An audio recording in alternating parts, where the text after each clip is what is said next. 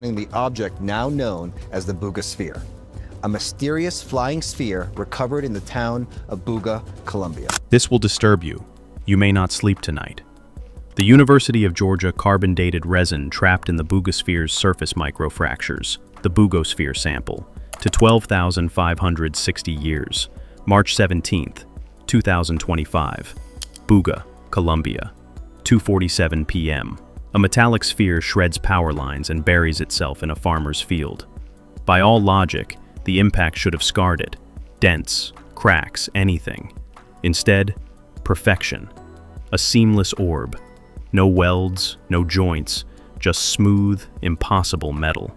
And etched across its skin, symbols that make linguists step back.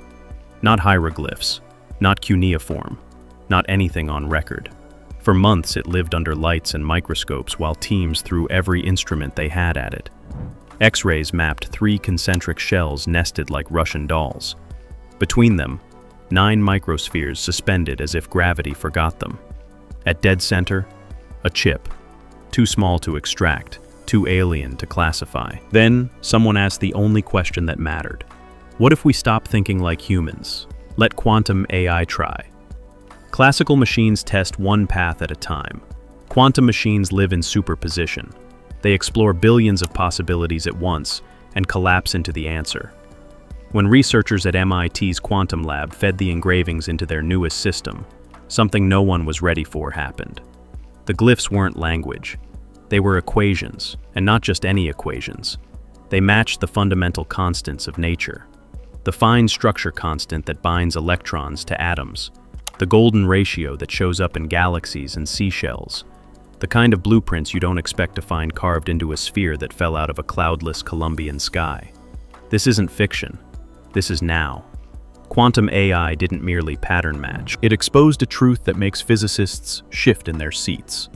Whoever made this object understands reality at a layer we're only beginning to approach. What that code actually says may be the most important discovery in human history. Inside MIT, the breakthrough reportedly landed at 3 a.m. on a Tuesday. Weeks of dead ends, pattern recognition flatlined, neural nets trained on every ancient script returned nothing. Then the team chained IBM's Condor to Google's Sycamore cloud. Let the lattice do what human intuition can't. Your laptop checks passwords one by one. A quantum processor becomes the entire password space at once. It's the difference between picking up every grain of sand versus becoming the beach, and knowing instantly which grain is yours. They piped the sphere's glyphs in at midnight. Three hours later, the lattice lit up. Planck's constant to 15 decimals. Then a cascade of phi spirals, the golden ratio in hurricane eyes, in spiral arms, in DNA helices. Nature's favorite number, engraved in alien alloy. For 72 hours, the processors churned, layer after layer resolved into constants, C, G, the values we hang reality on. Not approximations, exacts, more precise than our best instruments. Whoever authored this object doesn't just know our physics, they've surpassed it. And that was only layer one. Deeper glyphs refused to behave like numbers, they behaved like frequencies, resonance maps that froze the room because everyone had seen these waveforms before. LIGO measured them in 2015, gravitational waves from colliding black holes. The sphere's etchings didn't just resemble them, they matched them. Identical signatures from events a billion light-years away, encoded on a metal ball in Colombia. Layer 3 went stranger. Orbital resonances, the metronomic dance of Jupiter's moons, the ring gaps of Saturn held open by gravitational music, even ratios from exoplanet systems discovered last year. One physicist called it a cosmic Rosetta. Dr. Sarah Chen, Caltech, went further. If you wanted to store the operating system of space-time, this is how you do it. Not a message, not instructions, architecture. The mathematical scaffolding that lets reality exist at all, compressed into a skin of symbols. We build machines that process information, this thing might be information. Pure math, made physical. Simulations chilled the lab. Model the three shells with those frequencies, and the sphere stops acting like an object. It acts like a resonance amplifier, a tuning fork for the cosmos. Feed it the right note, and it sings back the bones of space. Before we tell you what happened when they actually excited it, subscribe, because what you're about to hear has never been public. Einstein said, God doesn't play dice. Maybe dice aren't needed when the rulebook is hard-coded, and maybe that's what we're holding. In simulation, those nested shells create a field, an electromagnetic bubble that bends light around the object. DARPA has chased metamaterial cloaks since 2018. MIT calls it photonic routing. The sphere's geometry looks decades ahead. Dr. Michael Torres, MIT Materials, ran 12 independent solvers. Same outcome. Light doesn't just bend, it spirals, generating interference patterns no known material can produce. The layering behaves like a photonic processor, computation done with light. Those nine microspheres? Not decorative. Each one sits at mathematically exact intervals. Golden ratio spacing, Fibonacci alignment. Drive the model with a frequency and the microspheres lock into standing waves, amplifying specific harmonics. A quantum tuning fork that remembers every note it has ever heard. You've seen those viral clips. Sanskrit chants making the sphere hum. Unverified, but the physics says resonance could trigger macro vibrations if you hit the right modes. Receiver, transmitter, perhaps both. Caltech's most unsettling run fed the sphere its own encoded frequencies, the constants etched on its skin. The virtual device didn't just resonate, it produced a localized space-time distortion. Microscopic, measurable, not supposed to happen with aluminum and thumb-sized beads. And yet, we're halfway in and only brushing the surface. The sphere might be a key, a tuner for reality, a data capsule that stores physics, not pictures. Some researchers now believe the symbols aren't merely equations, they're coordinates. The right question came from Dr. Lisa Park, Harvard Astrophysics, who stopped treating the glyphs like a written language and overlaid their geometry on deep sky maps. Andromeda, the Magellanic Clouds, ancient globulars. Three sequences snapped onto fast radio burst sources, FRB 202200319, 202100807, our loudest cosmic screams. One pattern mapped to a location with no catalogued object at all, black between Andromeda and Triangulum. The quantum model insists it isn't empty. We sent Voyager with a golden record, music, math, our address. What if this is their version? A probe that carries not just data but navigation, coordinates encoded in gravitational frequencies. Galactic GPS. Pulsars marked as cosmic clocks. Any civilization competent enough to build this would use them. Lead investigator Jose Velasquez said the quiet part out loud. We keep listening for radio. What if they send spheres? And if there's one, there are likely more. Whispers started in collector circles. Tokyo, July 2025. A private auction allegedly catalogued a second orb, smaller, 8 inches across. Different glyphs, same impossible build. No one's gone public, but leaked photos show familiar sins against metallurgy. No seams, nested shells, eye-hurting engravings. If there are two, there are probably many. Someone placed them. Someone wanted them found. Imagine what's inside. Not files, but fields.